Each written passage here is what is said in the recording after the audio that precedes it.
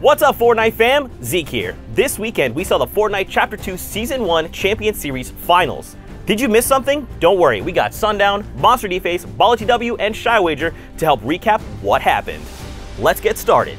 In Middle East, games 4 and 5 were crucial, but in the end, Sane, Namfu, Pancake, and Mev came out on top. To get into the top 9 needed high consistent performances with a slew of eliminations as well, but to break into the top 5 you needed high high plus 10 elim games plus victory royales as well to be in those slots. Mev, Sane, Pancake, and Namfu all played their roles perfectly in those situations and had 3 victory royales out of the 6 games in total. Games 4 and 5 were so crucial as they were not in the lead, but for back-to-back -back performances as well using the RPG as their main tool to take height and provide pressure to everyone else below them. For game 6, they did come out not actually getting any points whatsoever in eliminations or placement, but their phenomenal performances in game 4 and 5 led them to actually have enough points to just hold out at 112 or the number one spot. Yeah, and I'd say the key thing there was during game four, there was actually an interaction where the three top teams ended up on the north side of the same circle, and Pancake and Sane were able to knock off Jawad and Broken, toss over some grenades, pick up the elimination, but rather than push forward,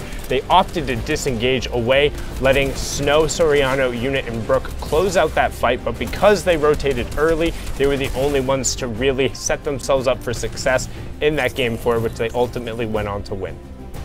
Over in Asia, Hoodjay, Peter Pan, Ming, and Medusa, aka Comes and Goes, held the number one spot with 98 points. In the Season X Trios Finals, we actually recall that it was Peter Pan and Hoodjay who came in second for Asia.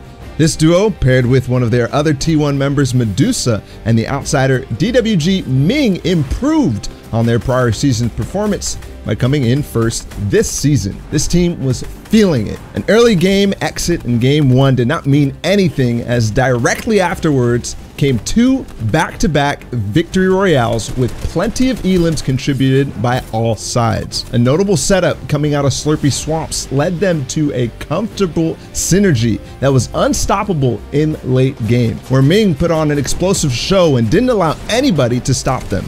They continued to have good performances all the way through, even though after game three, it was pretty much decided. The Season X champions of Rizart and company were actually trying to stay on their tail with two out of the four other Victory Royales. But it would not be enough, because at the end of the day, it would be Hoodjay and Peter Pan's squad rise to the throne.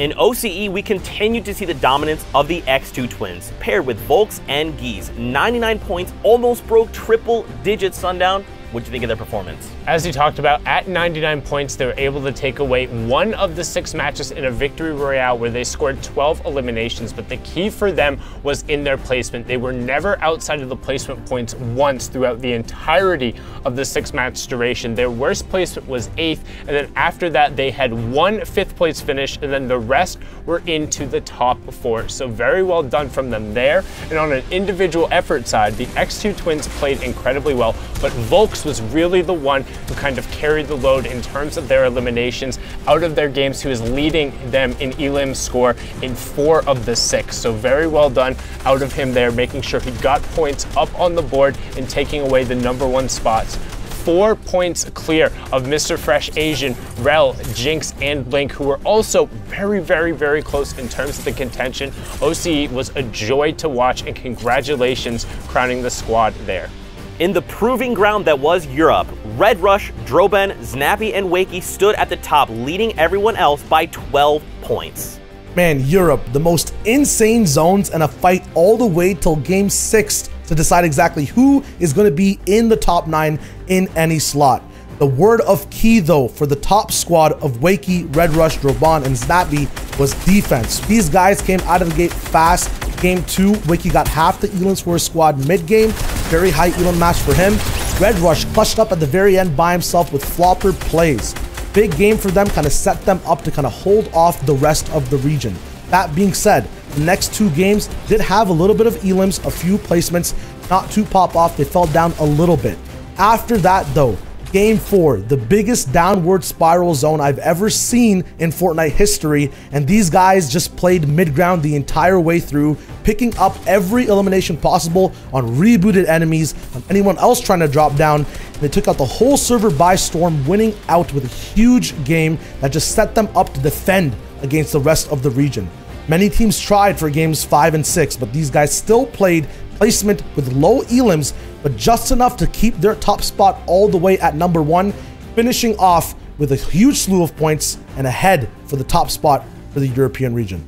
Yeah, and then also have to give a shout out to the second place squad there. Mongrel, Benji, Wolfies, and Nate. Nate coming up clutch in the final match. Said a little bit of a flopper clutch to drive them all the way up into second place. So very well done from that squad that faced a little bit of adversity. You know, they're kind of flipping out members, but it was real exciting to watch Europe finish out there. NA East was a battleground, but the controller legend Unknown Arony led his team to victory alongside Kez, Stable Ronaldo, and Avery with 89 points. Unknown Arony really was the glue right here, putting together a band of Slayers to back him up. Pulling together two victory royales, averaging over 7.7 eliminations, the unsung hero here really is Avery, pulling in ultimate clutch factors in the final moments, although having that perfect backup from Unknown Arony. One of his key components is relying on that good aim, upgrading his burst rifle almost every single chance that he had over at Slurpy Swamps up to the epic rarity level, allowing him to really burst down his opponents and take that lead in storm damage. Avery, Ronaldo, and Kez did not pick up any victories in the finals day, but with consistent performances, picking up several second places with high elimination games, this is how they secured their way to victory all the way through to the end. Not only picking up placements, but making sure to put down that fire when it counted most. Their last game was actually a nail biter, being that it was a run for the money and they only scored one or two points in those final moments. But another team we have to talk about is Arab, Aguilar, Inspire, and Kaz, fending off Team Liquid over at the farms. In Heat 2, they had a monster game 1, kicking things off with a ton of elimination points, to only then follow up on Sunday, setting the record in the finals for a 23 elimination game. And something to note is that the majority of their points did come in the form of eliminations.